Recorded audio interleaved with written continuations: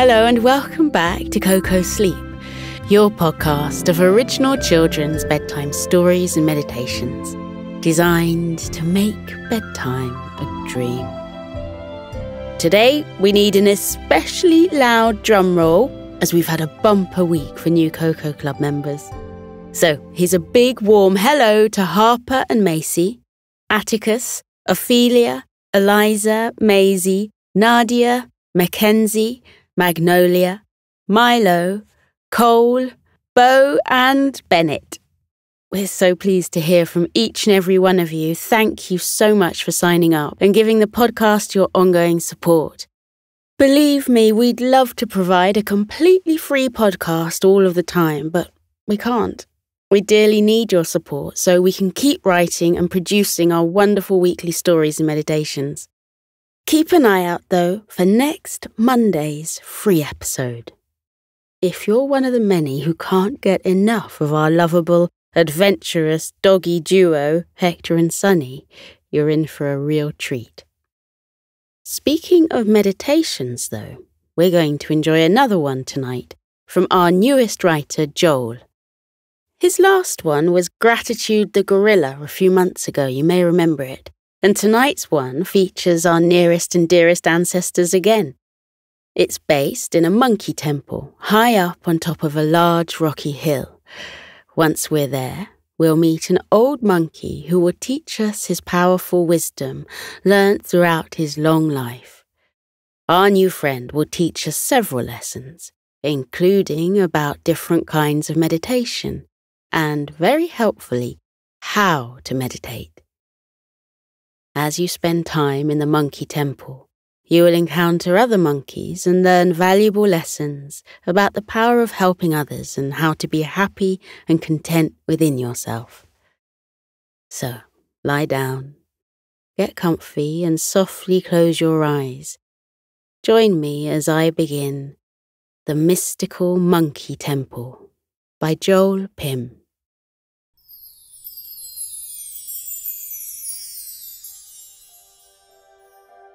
Lying in your bed, can you feel how soft the mattress is? Does the blanket feel like it's giving you a big hug? Can you wriggle around a little bit to make sure you're as comfy as you can be?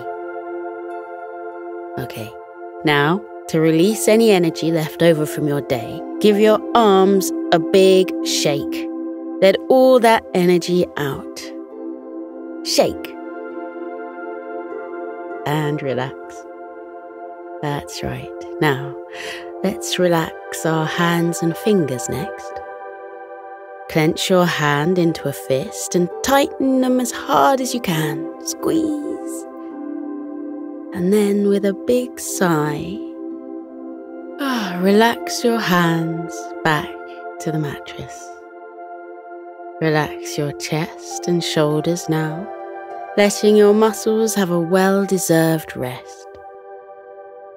Moving down your body, just like we did with our arms, let's give our legs a big shake. That's right, let all the energy out of them. And relax. Slowly bring your legs back to the mattress and into a comfortable position. Let your body sink into the mattress as you feel your body becoming calmer and calmer. Oh, you feel so warm and cozy, letting your body have the rest that it needs. You've been so active all day. Now is the time to recharge your batteries so you can go again tomorrow. Rest well so that you can be your happy, energetic self tomorrow. With every breath in and out, Feel yourself get more and more sleepy and relaxed. You're now ready for a cozy sleep that will give you the energy to play with your friends and family all day tomorrow. If you feel yourself drifting off, that's fine. Now's the time to get more and more sleepy. Now, with your eyes closed, Imagine yourself deep in the jungle.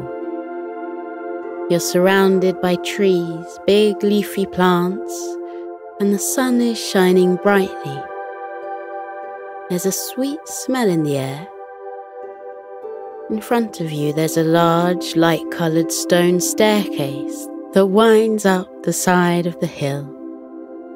Filled with excitement and curiosity, you decide to walk up the staircase and find out what is at the top.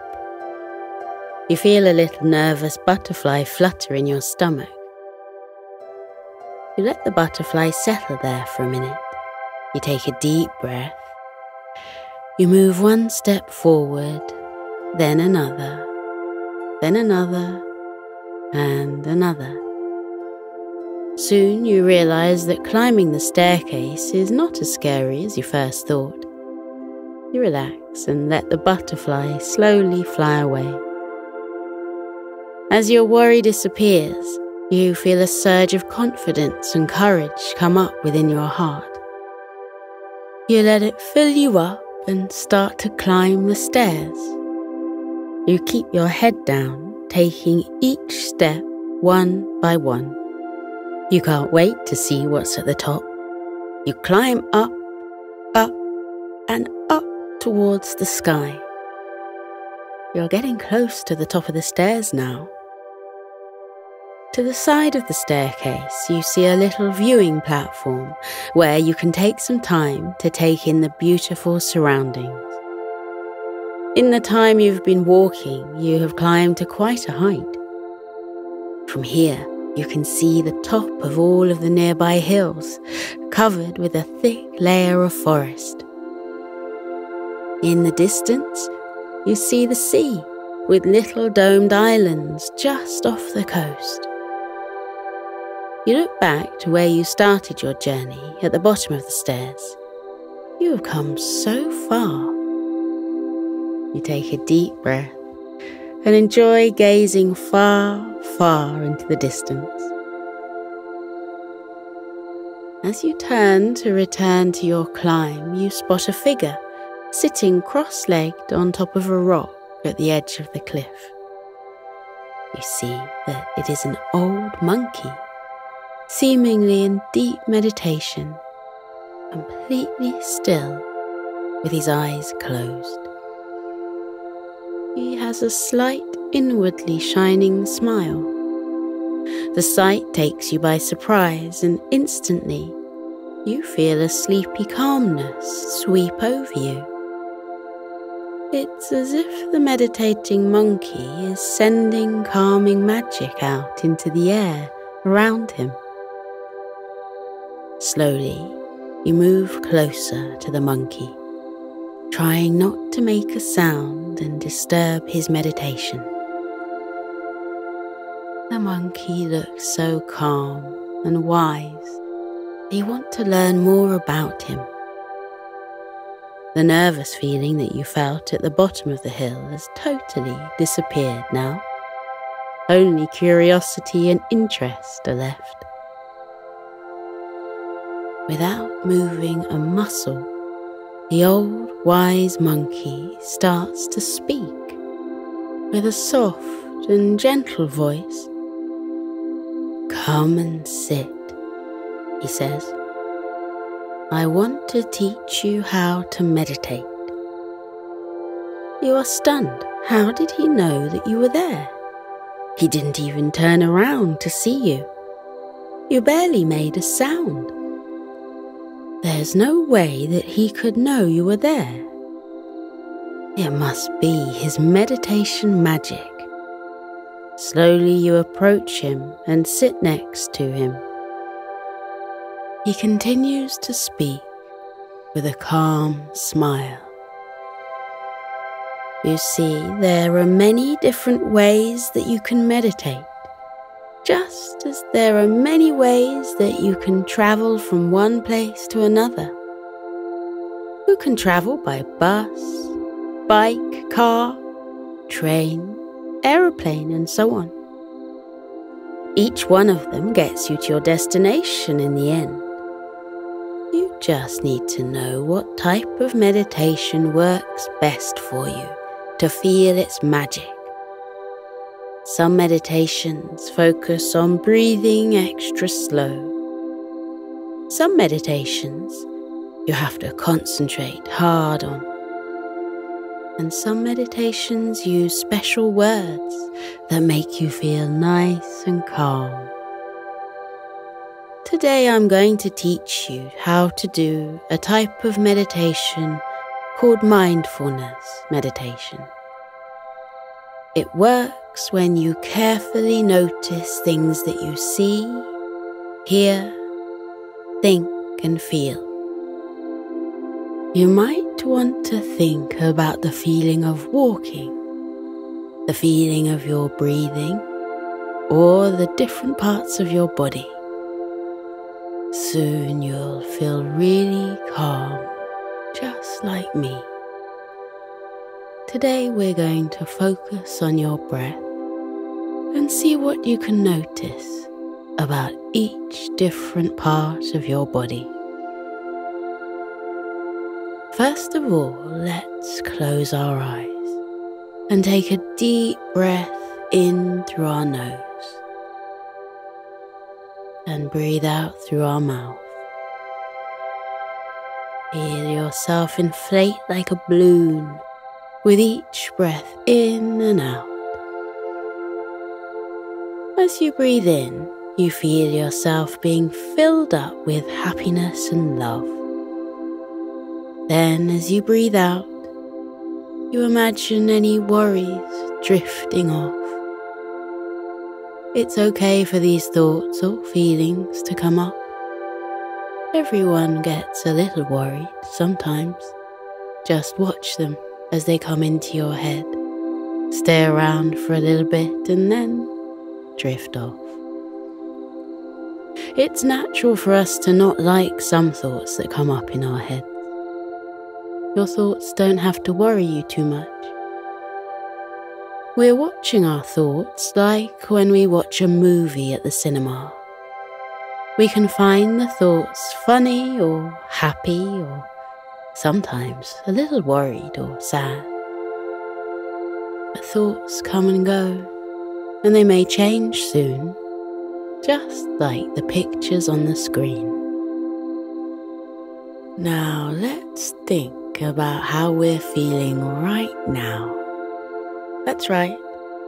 Listen to what your body is telling you. You might feel like you need to itch yourself or move yourself a little bit. That's okay. Now think about whether you can feel anything at the top of your head. Maybe you can imagine that you have a little crown on your head. Take a deep breath in, and as you exhale, imagine that you are relaxing your head. Relax your forehead too. Make sure you aren't frowning. Be calm like the monkey. Now think about your cheeks, your mouth, and your neck. Say hello and ask them how they're feeling. Take a deep breath in.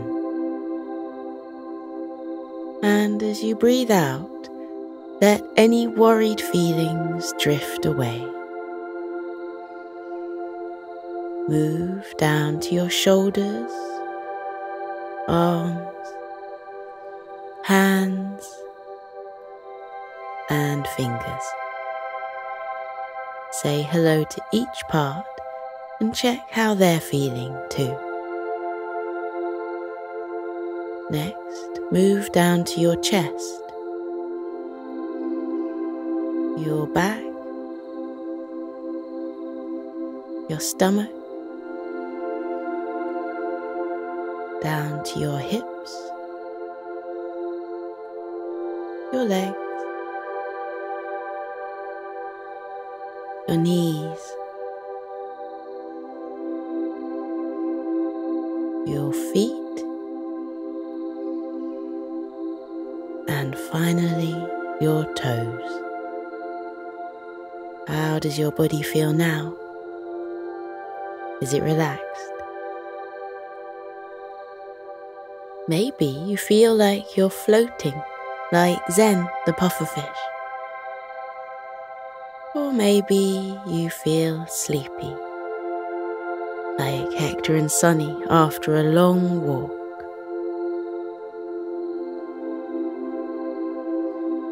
As you emerge back into the world, you look to your right and see the old wise monkey looking back at you with a bright, happy grin on his face.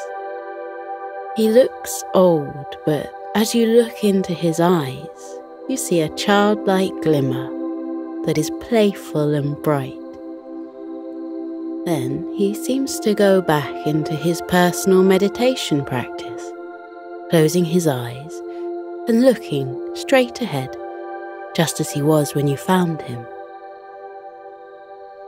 Before you could thank him for teaching you how to meditate, he starts speaking again. At the top of this hill, you will find a mystical monkey temple. At the entrance, you will find a monkey called Seva, who will teach you about the importance of helping others. With that, you gratefully thank him for his words of wisdom and turn back towards the track to the top of the hill.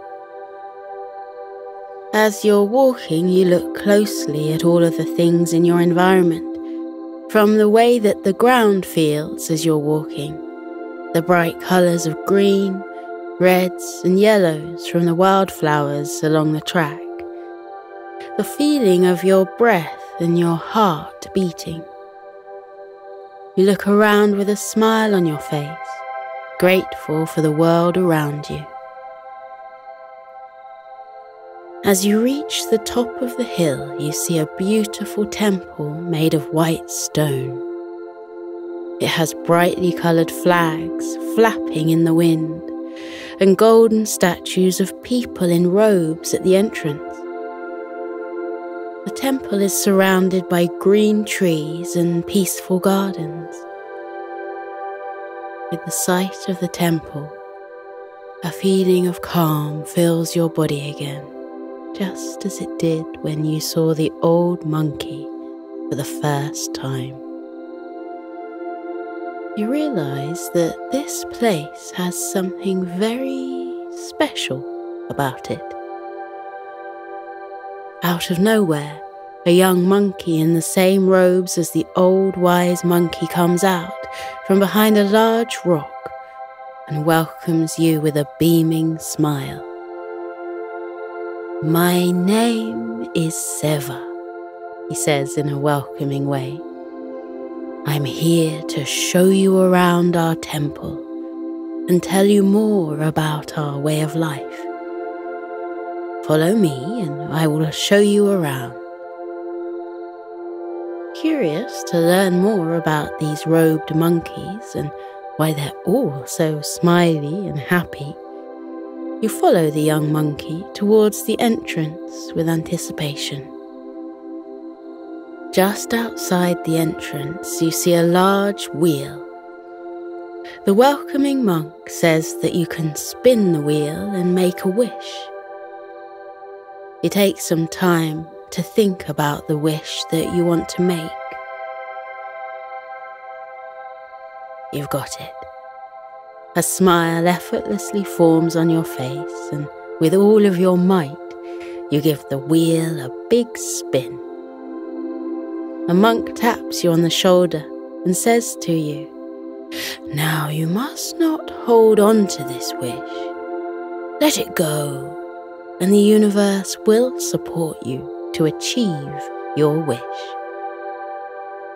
You nod in agreement, putting your wish to the back of your mind as you continue to follow Seva into the temple. The moment you walk inside the temple, you are hit with the sweet smell of burning incense and the sound of soft chanting. It's a magical place that makes you feel calm and serene.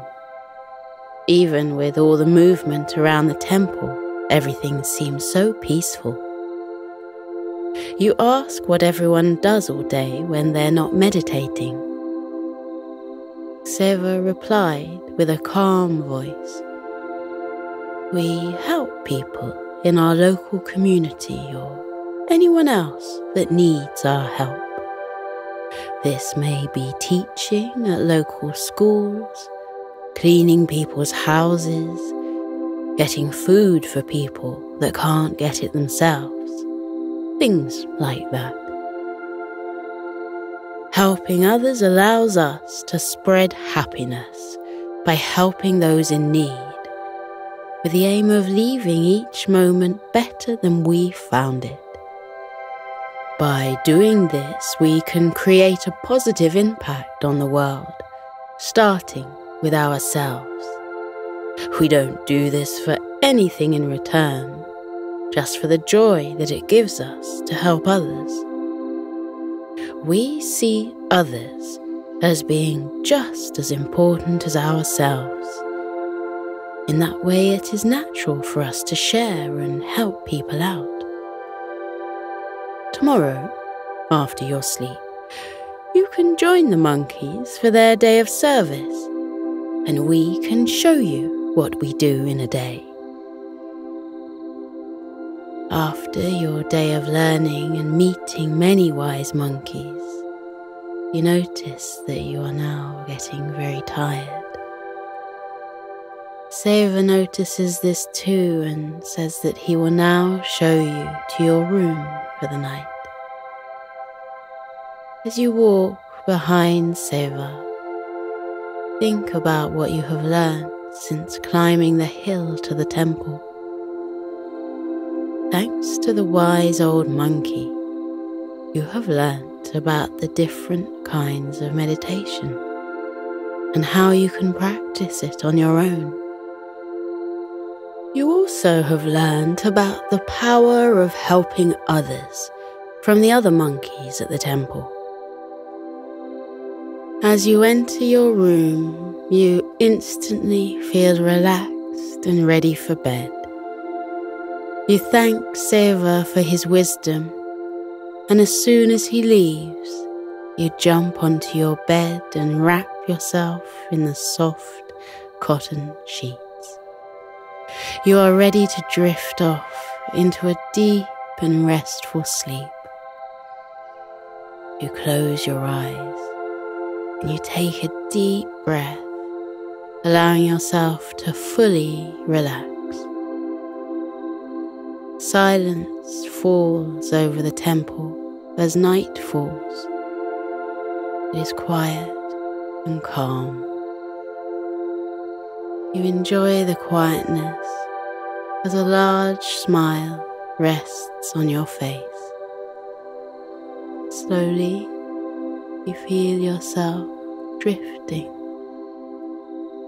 into a deep, deep sleep.